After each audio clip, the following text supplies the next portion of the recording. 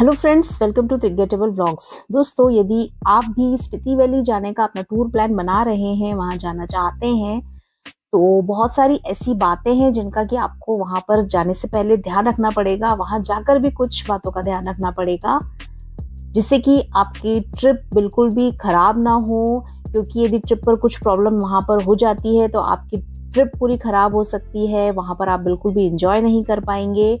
और आपको मुश्किलों का सामना भी करना पड़ सकता है। तो आई होप दोस्तों ये वीडियो काफ़ी इंफॉर्मेटिव और काफ़ी यूजफुल हो आपके लिए और काफ़ी आपके लिए फ़ायदेमंद साबित हो यदि आप स्पीति वाली ट्रिप पर जाने वाले हैं। वीडियो यदि पसंद आ जाए तो इसे लाइक शेयर कर दीजिएगा और चैनल पर नए हैं सब्सक्राइब नहीं किया है तो प्लीज़ चैनल को सब्सक्राइब ज़रूर कर लीजिए। तो चलिए दोस्तों वीडियो में आगे बढ़ते हैं। सबसे पहले बात करते हैं दोस्तों वहाँ के रोड कंडीशंस की। तो फ्रेंड्स वैसे तो जो शिमला से काजा जाने वाला रास्ता है, वो साल के 12 महीने ही ओपन रहता है। लेकिन सर्दियों के दिनों में यदि आप वहाँ पर जाते हैं तो ये क्योंकि बहुत ही एक हाई स्नोफॉल वाला रीज़न है, इसलिए आपको वहाँ पर सड़कों पर बर्फ़ मिल सकती है। तो यदि आप अक्टूबर से लेकर फरवरी, मार्च तक अपना ट्रिप प्लान कर रहे हैं स्पिति वैली का तो आपको इस बात का ध्यान रखना है कि वहाँ एक नॉर्मल गाड़ी नहीं जा पाएगी। आप सिर्फ़ फोर बाय फोर गाड़ी ही वहाँ पर ले जा पाएँगे क्योंकि उस समय आपको सड़कों पर वहाँ पर बर्फ़ मिल सकती है। साथ ही ये जो पूरा रास्ता है, ये पूरा पहाड़ी है। आपको हाई एल्टीट्यूड वाले रीजन में चलना होता है।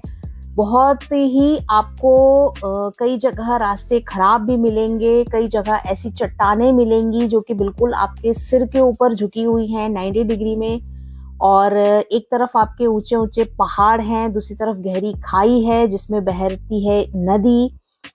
तो ये जो पूरा रास्ता है, ये पूरा रास्ता भी काफ़ी रिस्की हो जाता है। साथ ही यहाँ पर यदि आप आते हैं तो पहली चीज़ तो ये कि आपको, यदि आप सेल्फ ड्राइव करके आ रहे हैं तो आपको पहाड़ों में और ख़ास तौर पे हाई एल्टीट्यूड वाले रीजन में ड्राइव करने का एक्सपीरियंस होना चाहिए। और यदि ड्राइवर जो है आपके साथ में, यदि आप किसी ड्राइवर को साथ में लेके आ रहे हैं तो उन्हें भी हाई एल्टीट्यूड वाला जो रीज़न होता है और ऐसे पहाड़ी जो एरिया होता है, वहाँ पर गाड़ी चलाने का एक्सपीरियंस होना चाहिए। इन रोड्स पर भी आपको चलने का एक्सपीरियंस होना चाहिए, क्योंकि रोड्स कई जगह कच्ची भी रहती है, कई जगह टूटी हुई भी रहती हैं। जैसे कि यदि हम चितकुल जाते हैं तो करचन से लेकर चितकुल तक का जो रास्ता है 40 किलोमीटर्स का वो रास्ता कच्चा है। आपको वहाँ पर टाइम भी बहुत लगता है और पूरा पहाड़ी है एरिया है। सिंगल रोड आपको मिलेगा। कई जगह आपको टूटा फूटा भी मिलेगा, कई जगह कोई कुछ पैच अच्छा भी मिल जाता है। तो गाड़ी बहुत सावधानी से चलानी है। थोड़ी सी भी गलती आपके लिए बहुत बड़ी समस्याएँ वहाँ पर लेके आ सकती हैं। इसके अलावा नाकों से लेकर, नाको से जब आप आगे चलते हैं तो 15-20 किलोमीटर का एक पैच है, वो लगभग कच्चा सा ही है। वहाँ पर काम चल रहा है। और कई जगह खतरनाक से ऐसे मोड़ आपको मिलेंगे जहाँ बहुत ध्यान से आपको गाड़ी चलानी पड़ेगी। इसके बाद टाबो से लेकर काजा तक का जो रास्ता है, दोस्तों वो तो काफ़ी खतरनाक है और ऊँचे ऊँचे पहाड़ मिलेंगे आपको। चारों तरफ़ से आपके नीचे आपके बहरी होती स्पीति नदी, एक तरफ़ ऊँचे पहाड़ होते हैं, रास्ता भी कच्चा है और बहुत ही रिस्की रास्ता है, बहुत ही सावधानी से आपको गाड़ी ड्राइव वहाँ पर करनी होती है। लद्दाख के रोड्स की तुलना में तो दोस्तों स्पिति वैली में यदि आप शिमला तरफ़ से जाते हैं तो आपको कोई भी पास वहाँ नहीं मिलेगा। इसी वजह से ये रास्ता शिमला से काजा तक का साल के बारह महीने ही ओपन रहता है। साथ ही यदि आप मनाली वाले रास्ते से काजा आते हैं तो बीच में आपको मिलेगा कुंजुम पास तो उस पास पर आपको बहुत ही केयरफुली बहुत ही सावधानी से गाड़ी ड्राइव करनी होती है। यदि बात करें दोस्तों परमिट्स की तो आपको ये और बता दूँ कि स्पीति वैली जाने के लिए आपको किसी तरह के कोई भी परमिट की ज़रूरत नहीं पड़ती है। हाँ वहाँ पर आपको तीन जगह चेक पोस्ट मिलती हैं। एक जब आप किन्नौर वैली में एंटर करते हैं तो वहाँ पर एक चेक पोस्ट आपको मिलती है। वहाँ पर आपको आपकी गाड़ी की डिटेल्स लिखवाई जाती है। गाड़ी में कितने मेंबर्स ट्रेवल कर रहे हैं, उनकी डिटेल लिखवाई जाती है। साथ ही आपका घर का एड्रेस, आपका कोई फ़ोन नंबर जो कि आपके किसी रिलेटिव का हो, ये सारी नॉर्मल डिटेल्स वहाँ पर लिखवाई जाती है और उसके बाद आपको जाने दिया जाता है। ऐसे ही एक सुंडो में आपको चेक पोस्ट मिलेगा तो ये दो जगह और एक और बीच में एक चेक पोस्ट और मिलता है। तो ये तीन जगह आपको चेक पोस्ट मिलेंगे तो वहाँ पर थोड़ी बहुत आपकी डिटेल लिखवा करके और वो आपको आगे जाने देते हैं। तो स्पीति वैली जाने के लिए आपको किसी भी तरह के कोई भी परमिट की ज़रूरत नहीं होती है। यदि पेट्रोल पंप की बात की जाए दोस्तों तो रिकॉन्गपियो से पहले तो आपको काफ़ी सारे पेट्रोल पंप्स मिल जाएँगे। लेकिन रिकॉन्गपियो के बाद पहले पेट्रोल पंप की प्रॉब्लम होती थी क्योंकि पहले दोस्तों रिकोंगपियो से लेकर काजा के बीच में कोई भी पेट्रोल पंप नहीं था और ये रिकोंगपियो से काजा की जो दूरी है वो 211 किलोमीटर्स है। तो उस एरिया में पहले कोई भी पेट्रोल पंप नहीं था, लेकिन अभी आपके लिए पेट्रोल की कोई भी टेंशन लेने की ज़रूरत नहीं है स्पीति वैली में, क्योंकि अभी रिकोंगपियो से 68 किलोमीटर की दूरी पर पूह नाम की एक जगह पर एक पेट्रोल पंप नया खुल गया है। तो जो पूह नाम की जगह है, वो नाको से 38 किलोमीटर पहले है और पूह से काजा की जो दूरी है, वो 148 किलोमीटर है। तो इस रेंज में एक फोर व्हीलर को तो कोई भी दिक्कत नहीं होती है। यदि आपने रिकोंगपियो में पेट्रोल डलवा लिया है तो उसके बाद आप काजा में डलवा सकते हैं। इसके अलावा बीच में पूह में भी डलवा सकते हैं। लेकिन यदि आप बाइक से जा रहे हैं तो आपको आपकी गाड़ी की क्या रेंज है, उस हिसाब से आप पेट्रोल कैरी कर सकते हैं। वैसे अब ज़रूरत नहीं पड़ती है। पहले जब ये पूह में पेट्रोल पंप नहीं खुला था, तब वहाँ पर पेट्रोल की प्रॉब्लम होती थी।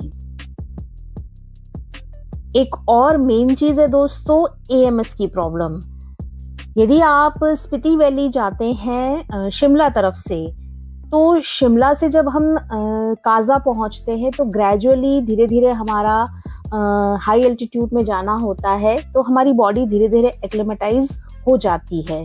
लेकिन फिर भी जो यदि आप चितकुल जाते हैं तो चितकुल एक हाई एल्टीट्यूड वाले एरिया में है तो वहाँ पर आपको थोड़ी बहुत एएमएस की प्रॉब्लम हो सकती है। मैं आपको एएमएस बता दूँ कि एएमएस होता क्या है। असल में जब हम हाई एल्टीट्यूड वाले रीजन में जाते हैं, पहाड़ों पर जाते हैं तो वहाँ पर ऑक्सीजन की कमी होती है, जिसकी वजह से वहाँ पर हमें सांस लेने में प्रॉब्लम होती है।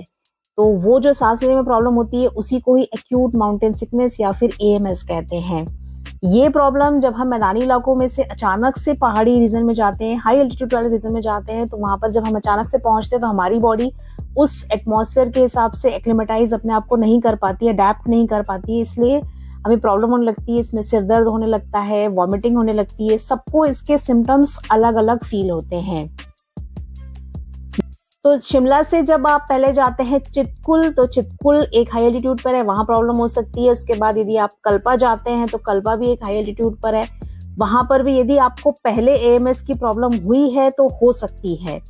इसके अलावा नाकों में यदि आप पहुँचते हैं उसके आगे तो तब तक हमें वहाँ नाको पहुँचते पहुँचते दो दिन, तीन दिन हो चुके होते हैं तो वहाँ तक पहुँचते पहुँचते हमारी बॉडी उस हेल्टीट्यूड के हिसाब से अपने आप को थोड़ा ढाल लेती है तो नाको में ये प्रॉब्लम कम होती है।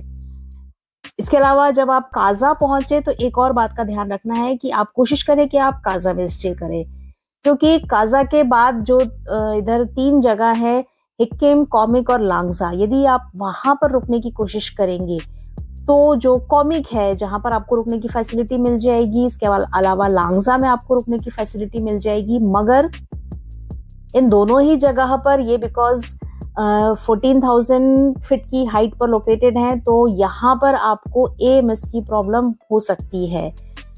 ए की प्रॉब्लम ज़रूरी नहीं है कि सभी को हो, सबकी बॉडी अलग अलग तरीके से बिहेव करती है।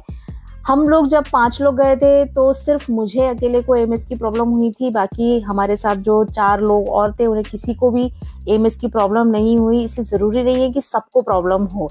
लेकिन यदि आपको पहले आप पहाड़ों पर जा चुके हैं और वहाँ आपको यदि कुछ प्रॉब्लम होती है तो आपको इस बात का ध्यान रखना है।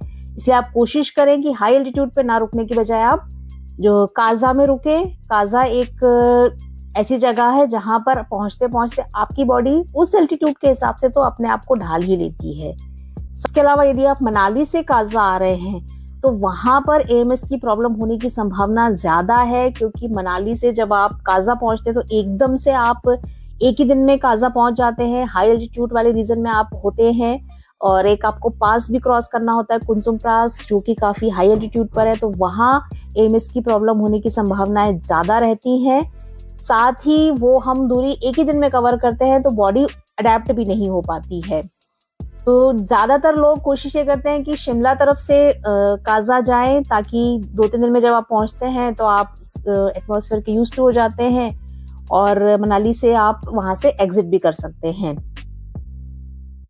एक और बात का ध्यान रखना है कि आप कभी भी जब भी स्पीति वैली जाते हैं तो ये एक बहुत ठंडा रीजन है तो यहाँ पर आपके पास पर्याप्त मात्रा में सारे वुलन्स होने चाहिए, आपके साथ में इनर्स, जैकेट्स, टोपा, आपके हैंड ग्लव्स, आपका गला कवर करने के लिए, मफलर वगैरह, ये सारी चीज़ें आपके साथ में होनी चाहिए, वरना यहाँ पर बहुत ही ठंडी हवाएँ चलती हैं ठंड लगने से भी आपको प्रॉब्लम हो सकती है।